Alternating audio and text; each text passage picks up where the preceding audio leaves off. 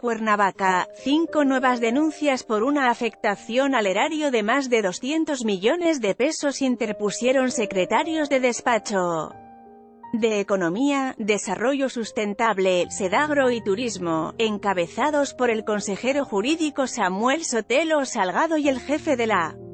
Gubernatura, José Manuel Sanz, en contra de al menos 20 exfuncionarios de la pasada administración, incluido el exgobernador Graco Ramírez.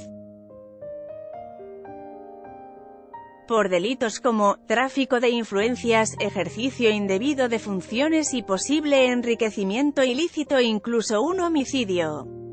José Manuel Sanz explicó que son una acumulación de delitos que la Fiscalía Anticorrupción debe investigar para acreditar la responsabilidad del exgobernador Graco.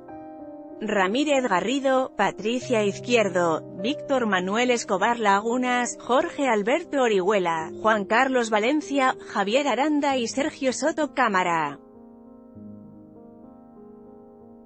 Entre otros, disputan Morelos cinco cárteles Cuauhtémoc Blanco sobre estos expedientes. Samuel Sotelo dio a conocer que estas denuncias se acumulan a otras que ya se habían iniciado, y forman parte de las revisiones que se siguen haciendo, y por la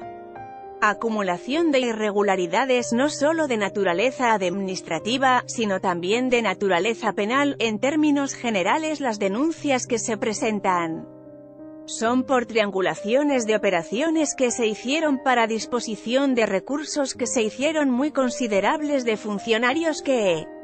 en su momento estuvieron en la administración anterior, pero que fueron vinculados con particulares y con empresas que debe investigar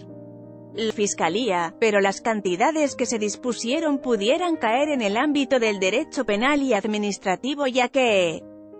son muy considerables y hay una afectación muy grave al erario, dijo la secretaria de Desarrollo Económico, Ana Cecilia González